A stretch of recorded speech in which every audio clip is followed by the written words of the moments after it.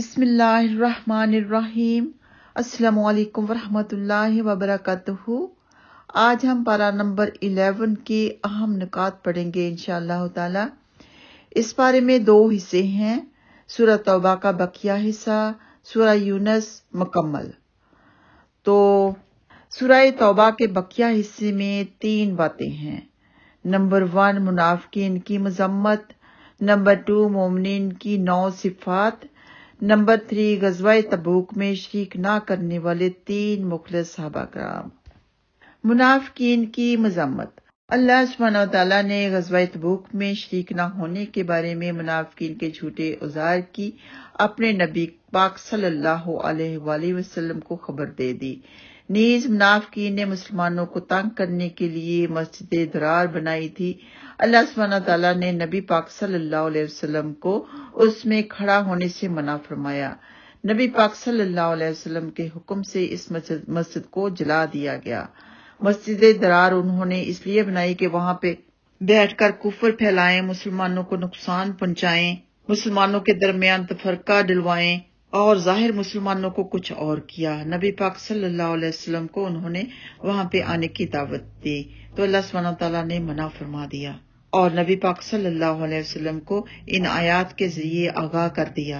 अगर आपने पूरी तफसीर पढ़नी हो तो सुरा तौबा की आयत नंबर 107 है। फिर मोमिन की नौ सिफात आ जाती हैं। नंबर वन, तौबा करने वाले। नंबर टू, इबादत करने वाले। नंबर थ्री, हमद करने वाले। यानी अल्लाह की तारीफ़ करने वाले, नंबर फोर रोजा रखने वाले, नंबर फाइव रुकू करने वाले, नंबर सिक्स सजदा करने वाले, नंबर सेवन नेक कामों का हुक्म करने वाले, नंबर एट बुरी बातों से मना करने वाले, नंबर नाइन अल्लाह की हदूद की हिफाजत करने वाले। फिर गजवा तबूक में शिरकत ना करने वाले, तीन मुखलस सभा कराम के बारे में है, कि हज़रत काब बिन मालिक रज़ी अल्लाह तहुमा नंबर टू हज़रत बिलाल बिन उमिया रज़ी अल्लाह तहुमा नंबर थ्री, हज़रत मुरारा बिन रबी रज़ी अल्लाह तहुमा इन तीनों से पचास दिन का बाइकाट किया गया, फिर इनकी तौबा की कबूलियत का ऐलान वही के ज़रिए किया गया।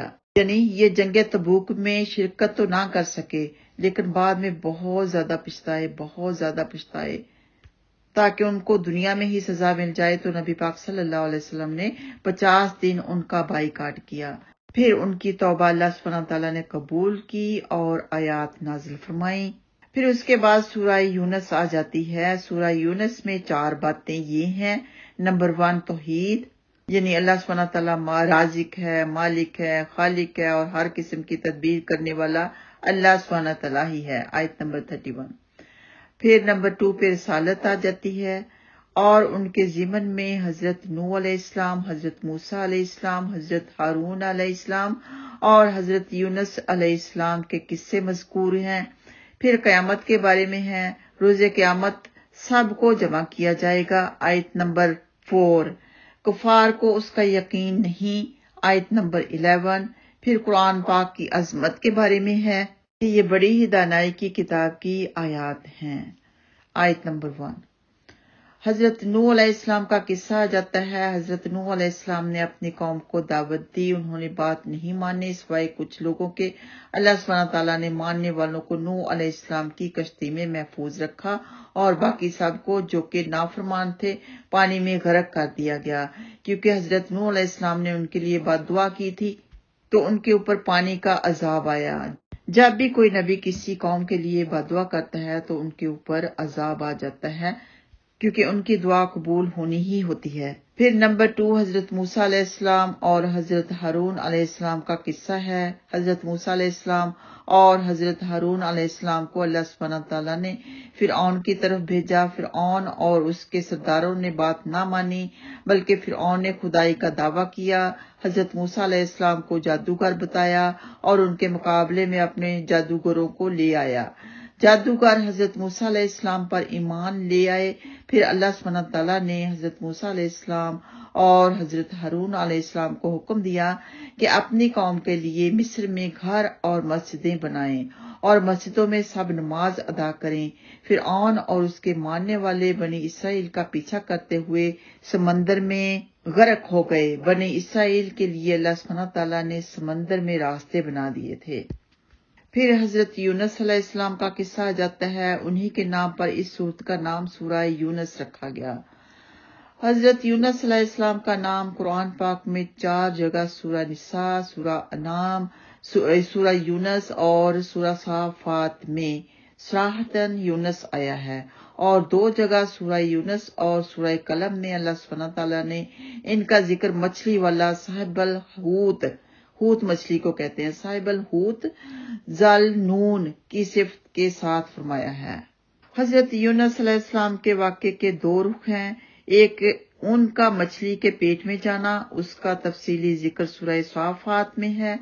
दूसरा, उनकी कौम का उनकी गैर मौजूदगी में तोबा इस्तफार करना सूरा यूनस में उस तरफ़ इशारा है। किस्सा यूँ है कि हज़रत यूनस इस्लाम अपनी कौम के ईमान से मायूस और अल्लाह का अजाब आने को यकीनी देखकर नैनवी की सरजमीन छोड़कर चले गए। आगे जाने के लिए जब वो कश्ती में सवार हुए तो समंदर में तोगियानी की वजह से, यानी नाफरमानी की वजह से कश्ती डूबने लगी। हज़रत यूनस ने समंदर में छलांग लगाई।